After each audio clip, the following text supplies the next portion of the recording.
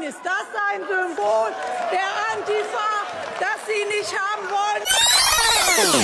Ich bin am Ende. Die jeden Tag stärken wir denen die Rücken, die jeden Tag an vielen Orten in diesem Land sich dem rechten Vormarsch entgegenstellen und sagen, danke Antifa.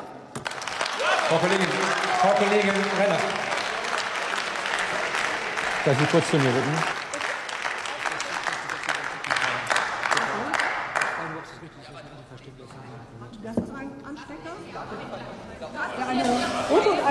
Liebe Kolleginnen und Kollegen, die Kollegin Renner trägt an ihrem Gewehr einen Sticker der Antifa. Ich erteile ihr dafür einen Ordnungsruf. Und behalte mir, und behalte mir, ich erteile Ihnen einen Ordnungsruf und behalte mir vor, nach Erörterung Präsidiums des Deutschen Bundestages weitergehende Ordnungsmaßnahmen gegen Sie zu verhängen.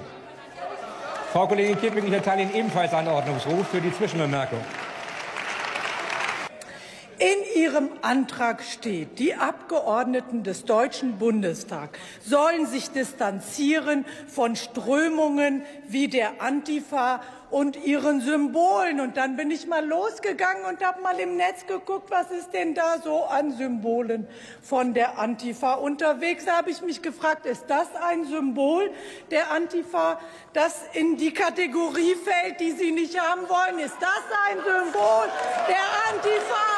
Das Sie nicht haben wollen? Oder Frau Kollegin, Frau Kollegin, bitte. Der Antifa, das Sie nicht haben wollen? Ich weiß es nicht. Es ist unbestimmt. Es steht nicht deutlich in Ihrem Antrag. AfD, eure Kinder werden so wie wir. Und das ist auch gut so. Bunt und vielfältig. Frau ist ja nicht automatisch clever, nur weil sie scheiße aussieht.